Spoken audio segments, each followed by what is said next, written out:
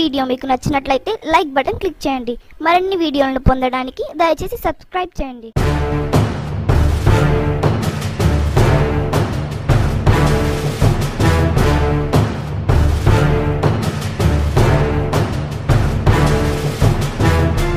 పత్రికా ప్రకటన ఏర్పాటు చేయడం ఏమంటే సుధాకరణ. గౌరవ ముఖ్యమంత్రి గారు ప్రొద్దుటూరికి వచ్చే సందర్భంగా పొద్దున కదా కడప పసుపు వచ్చే సందర్భంగా వచ్చిన సందర్భంగా. ఆయన ఆయనకు పట్టణంలో కొత్త పనులు వేశారు కొన్ని అవకతవకలు ఉన్నాయి. పిటిషన్లు పెట్టుకొని ఆఫీసులు తిరుగుతున్నారు. అనే ఇబ్బంది లేకుండా ఉండాలని సార్ ఈ సంవత్సరం కొత్త పనులు రద్దు చేయండి. ఈ సంవత్సరం కొత్త పనులు రద్దు చేయండి అని అర్జించాము మన మున్సిపాలిటీ జీవో తీసుకొని ఈ విధంగా జీవో ఇచ్చారు. ఈ జీవో వర్తించకుండా క్యాన్సిల్ చేయండి అని. అది ఆయన జీవో నంబర్ అన్ని ఇచ్చి కూడా ఆయనకి ఇస్తే ఆ పనులు రద్దు చేశారు.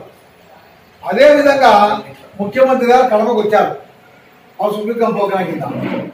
ఆయనకు లెటర్ ఇచ్చాం సార్ రాష్ట్రం లెవెల్లో వేల కోట్ల బకాయిలు ఉన్నాయి పన్ను బకాయిలు మున్సిపాలిటీల్లో. అవన్నీ మనకు వసూలు సక్రమంగా కావాలంటే వడ్డీ మాఫీ చేస్తే మార్చి ముప్పై ఒకటి లోపల మనకు అందరు కడతారు. మనకు మంచి పేరు ఉంటుంది సార్. అనే ఉద్దేశంతో ముఖ్యమంత్రి గారు చెప్పడము అర్జీ ఇవ్వడం జరిగింది.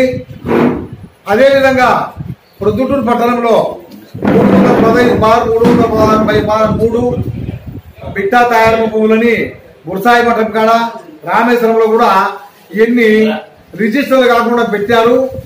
అది మిట్టా తయారు వారు పద రెండు వందల పంతొమ్మిది పదహైదులో ఆ సంస్థ ఉన్నది. మధ్యలోనే మూసేసినారు ఆ భూములు అమ్ముకున్నారు. భూములు అన్ని వాళ్ళతో వీళ్ళు ప్లాట్లు కొనుక్కొని రీఛార్జ్ చేసుకొని నలభై యాభై ఏళ్ళ నుంచి పన్నులు కడుతున్నారు. అటువంటివన్నీ ఈ మొత్తం రిజిస్టర్ కాకుండా పోతే రిజిస్టర్ ఆఫీస్కి ఆదాయం రాదు గవర్నమెంట్కు ఈ విధంగా పెండింగ్ పడితే ప్రజలు ఇబ్బంది పడతారు. అది అది కూడా ఒక లెటర్ ఇచ్చాము దాన్ని కూడా పరిశీలన చేస్తామన్నారు. ఈ విధంగా? మనము రాష్ట్ర వ్యాప్తంగా పంచుకోవడం చేసేదానికి ప్రయత్నం చేస్తాం. ముఖ్యమంత్రి గారు ఇప్పుడు వడ్డీ బాకీ రుణాలు మాఫీ చేసినందుకు గాను ఆయనకు మేము ముఖ్యమంత్రి గారికి కరకాల వల్లభన్ గారికి డిఎంఏ కన్నబాబు గారికి అధికారులకు అందరికి కూడా పేరు పేరున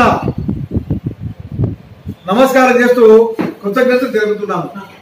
సభ దీక్షకు వచ్చినప్పుడు మేమందరం కలిసి కూడా అర్జీ ఇవ్వడం జరిగింది. ఈ పన్నులు పెంచడం ఇది ఎలక్షన్ ముందు మంచిది కాదు. మనం దీన్ని నిలుపు చేయాలి. అందులోనూ అసంబద్ధంగా పెంచినారు. శాస్త్రీయంగా లేదని చెప్పినప్పుడు ఆయన దానికి స్పందించి వాటి నిలుపుదల చేయడం జరిగింది. అదేవిధంగా ముఖ్యమంత్రి గారు పశువు కుంకుమ కార్యక్రమం కడపకు వచ్చినప్పుడు మేమందరం కలిసి పార్టీ తరఫున పన్నులపై దాదాపుగా మన గవర్నమెంట్ వచ్చిన నుంచి నాలుగున్నర సంవత్సరంలో పన్నుపై ఉన్నటువంటి వడ్డీని ఏనాడే కానీ మాఫీ చేసింది లేదు. వడ్డీని మాఫీ చేస్తే ప్రజలు పన్నులు కడతారు. దానివల్ల మున్సిపాలిటీలకు ఆదాయం వస్తుంది. పార్టీకి కూడా మంచి పేరు వస్తుంది మంచి మైలేజ్ వస్తుంది అని ఆయన చెప్పినప్పుడు ఆ అర్జీ తీసుకొని దానికి స్పందించి ఈ దినము జీవో ఇష్యూ చేసినందుకు ముఖ్యమంత్రి గారికి పురపాలక శాఖ మంత్రి నారాయణ గారికి పురపాలక శాఖ కార్యదర్శి గరికాల ఉన్నం గారికి కన్నబాబు గారికి డిఎంఏ అందరికీ కూడా కృతజ్ఞతలు తెలియజేస్తున్నాము. అదేవిధంగా ప్రజలు కూడా ఈ సదావకాన్ని ఉపయోగించుకొని ఈ అవకాశం అనేది మార్చి ముప్పై ఒకటో తేదీ వరకే మీరందరూ కూడా పూర్తిగా పన్ను చెల్లించడం ప్రతి ఒక్కరికి కూడా వడ్డీ మాఫీ అవుతుంది కాబట్టి ప్రజలు కూడా ఈ అవకాశాన్ని ఉపయోగించుకొని మనస్ఫూర్తిగా కోరుకుంటూ పార్టీ తరఫున తెలియజేస్తారు